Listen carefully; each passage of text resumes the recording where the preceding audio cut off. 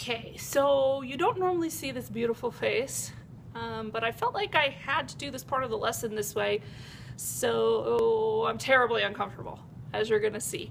But I guess that's just the way that it goes. So if you take your notes and take a peek, the next thing that we're gonna be studying is something called axial and equatorial. Um, when we were learning about these molecules in class, we were talking about the trigonal bipyramidal shape, this shape here, and we were saying that there was one straight up and one straight down, and then there were three in the middle that made that plane. Well, they actually have names. So we're going to introduce the concept of their names. So these two here are called the axial positions, the ones that go straight up and straight down, like the axis through the Earth. Okay, same idea.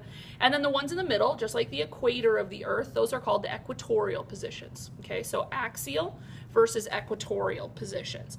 Now, we know that these um, degrees are 90 and the ones in between here are 120. Um, remember that was part of our lesson before and actually it's down at the bottom of your notes as well for this part um, too. But what I want to talk about is in class we were looking at where the non-bonding group would be if these instead of five bonding groups we had one non-bonding group.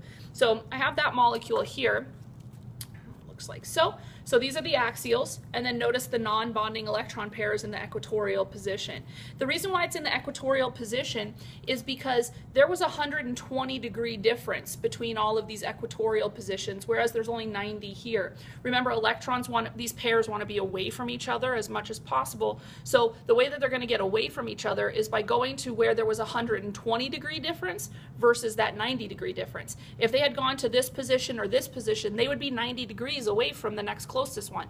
And they definitely don't want that. So instead, you have them here in these middle positions because now they have all this space and all this room to move around. So the non-bonding pair, if you have a one that has four bonding, one non-bonding, the non-bonding pair it goes in the middle. Now if you have three bonding and two non-bonding, it still goes in the middle. So that was the T-shaped, remember our T-shaped one. So you have your axial position, straight up and straight down. Notice my two non-bonding pairs are in those uh, equatorial positions, and I have one more left here, hence the T shape. Okay, so these are the axials, and these are still the equatorials, but our non-bonding pairs are there. And then if you remember, if there were two bonding and three non-bonding, then it made a linear shape. And that's because all three of the non-bonding pairs will go in the center. Again, there's more room there for those molecules. Now, if we flip over and think about octahedral, there's 90 degrees different for all octahedrals. Remember, these we could call axial, I guess, and the ones in the middle we could call equatorial, but with this one it doesn't really matter as much because there's 90 degree angles everywhere. So when you go to make your first molecule with a non-bonding pair, right, with one non-bonding pair and five bonding pairs, we called this what? Square pyramidal? Good job.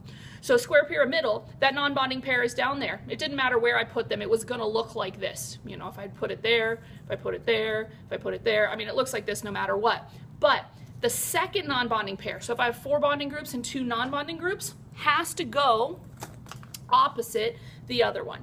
Okay, so it has to go off this other side in order to have as much room as possible. If you put it in one of these positions here, then it wouldn't have had as much room. It would be crowded. So it'll always go opposite, okay? And then we know if one more is missing, it would go here, the next one would go here, here and here. Well, obviously you wouldn't have that many missing, but so that's the idea that you have there for your trigonal bipyramidal, your octahedral, your axial, the term axial, the ones that up straight up and straight down versus the equatorial ones that are going around.